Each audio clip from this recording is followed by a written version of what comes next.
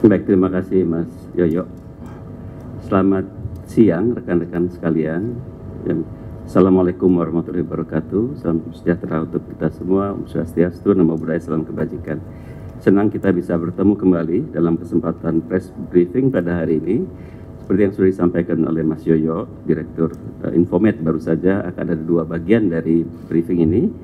Pertama, uh, kita akan mendapatkan update atas beberapa hal dari Pak Yuda yang sudah bergabung secara online dan juga dari uh, Pak Dirjen HPI, Pak Amri, terkait isu yang sering kali ditanyakan oleh media dalam beberapa hari terakhir. Walaupun sebenarnya Kemlu sudah memberikan respon, namun saya mencatat uh, masih juga mengundang uh, beberapa pertanyaan dan juga perbincangan di forum uh, media sosial ini adalah terkait dengan isu Asmorif. Oleh karena itu dalam kesempatan siang hari ini kita akan mendapat satu kesempatan mendengarkan langsung dari Pak Dirjen HPI Bapak Amri apa sih sebenarnya uh, isu yang menjadi perbincangan di media sosial tersebut dan uh, bagaimana konteks hukum internasional atas isu Asmorif ini. Untuk itu rekan-rekan sekalian uh, untuk menghemat waktu selanjutnya saya mengundang Bapak Dirjen Amri untuk uh, memberikan penjelasan kembali atas hal-hal yang sebenarnya sudah sebelumnya diberikan penjelasan. Pak Amri, saya persilakan. Terima kasih. Terima kasih Pak ya, Jubir. Selamat siang. Assalamualaikum warahmatullahi wabarakatuh, teman-teman media. Uh, sesuai dengan permintaan Pak Jubir, saya akan uh, jelaskan sedikit mengenai isu yang sekarang sedang beredar di media. Jadi wilayah NKRI berdasarkan hukum internasional yang kita sebut uh, asas uti possidetis juris adalah bekas wilayah Hindia Belanda. Dan dalam konteks ini, Pulau Pasir atau Asmorif tidak pernah menjadi bagian dari uh, wilayah Hindia Belanda. Dengan demikian ketika Indonesia merdeka, ketika Indonesia merdeka, Asmorif tidak pernah menjadi bagian dari wilayah NKRI.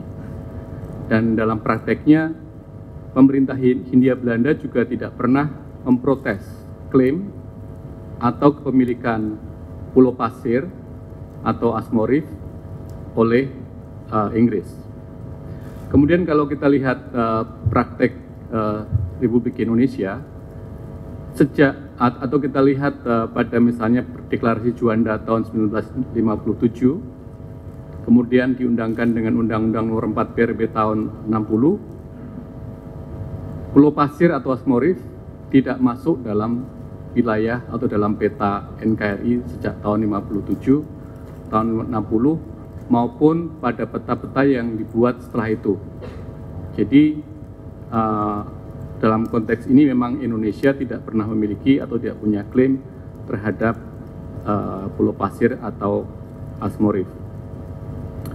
Kemudian untuk mengakomodasikan kepentingan masyarakat khususnya nelayan tradisional yang ada di uh, eh, NTT, Indonesia dan Australia mem mem membuat perjanjian untuk mengakom mengakomodasikan kepentingan mereka itu melalui MOU yang ditandatangani pada tahun 1974. MOU ini kemudian disempurnakan lagi dengan perjanjian tahun 1981 uh, dan 1989 yang kita kenal secara umum sebagai MOU Box.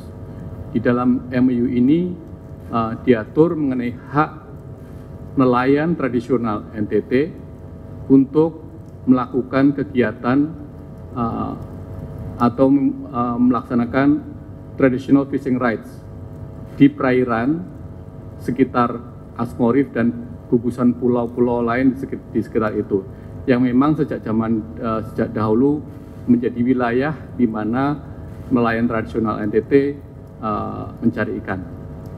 Saya kira itu uh, prinsip atau hal besar yang ingin kami sampaikan, Pak Jubir. Terima kasih.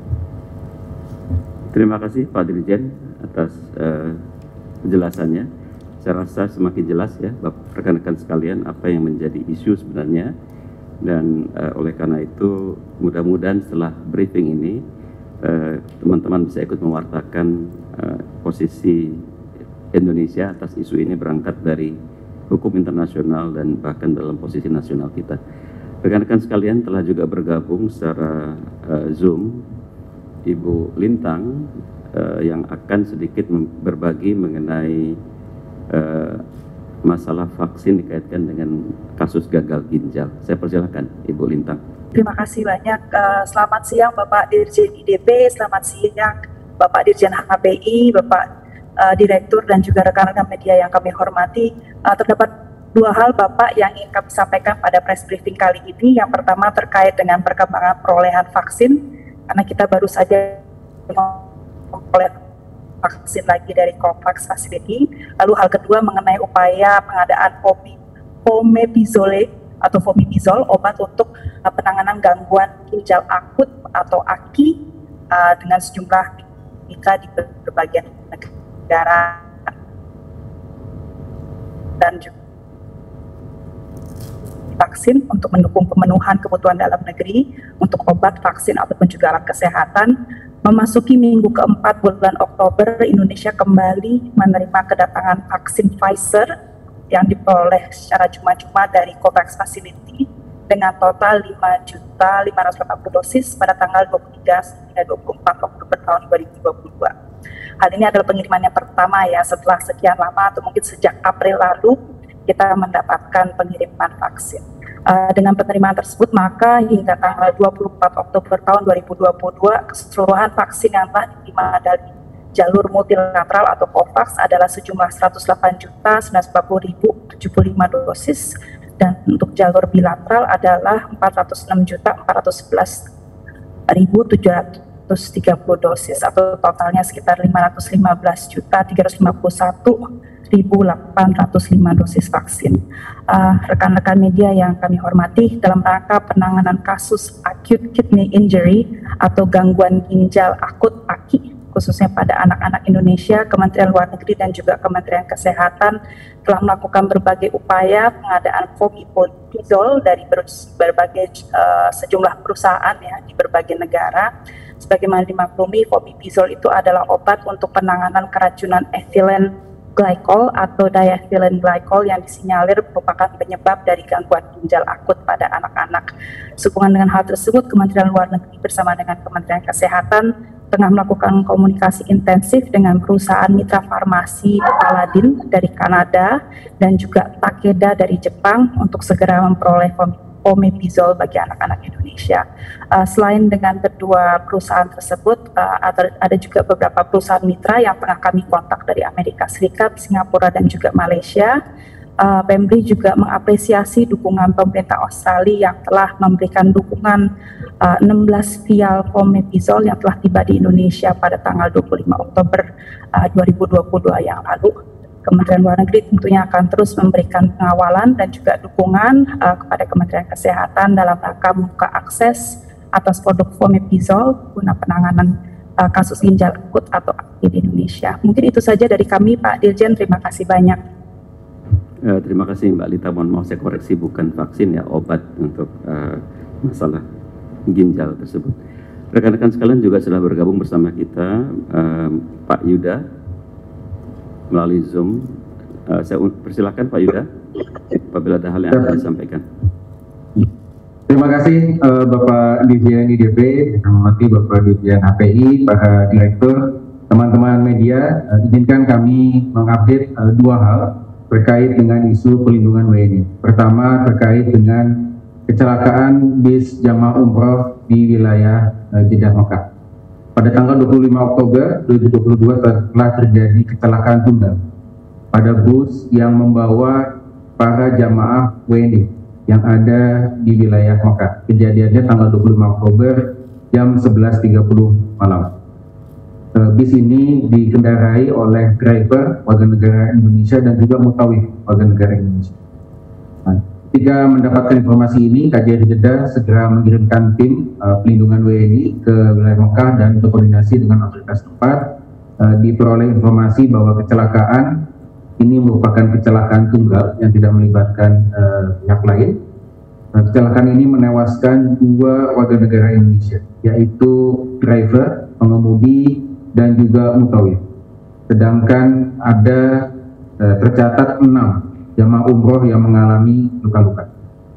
Saat ini eh, untuk yang luka-luka dirawat di Rumah Sakit Abdul Aziz Mekah dan lima di antaranya telah dapat melanjutkan perjalanan umroh, satu masih dalam perawatan atas uh, kecelakaan ini kami mengucapkan turut uh, duka cita dan KJRI Jeddah telah uh, memberikan bantuan dan siap untuk terus memberikan bantuan kepada para jamaah dan juga korban. Selanjutnya isu yang lain terkait dengan bencana alam, bagaimana teman-teman uh, media mencatat bahwa saat ini di berbagai belahan dunia terjadi uh, curah hujan yang tinggi yang menyebabkan banjir yang tercatat antara lain ada di Nigeria, di Pakistan, di Thailand, di Venezuela, di Vietnam, dan juga di beberapa bagian di Australia. Utamanya yang ada di New South Wales, Victoria, dan Tasmania.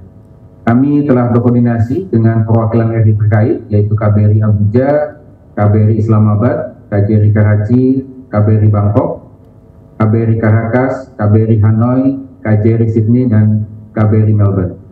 Nah, perwakilan RI tersebut telah melakukan koordinasi dengan otoritas tempat dan juga menjalin komunikasi dengan komunitas masyarakat Indonesia yang ada di wilayah terdampak.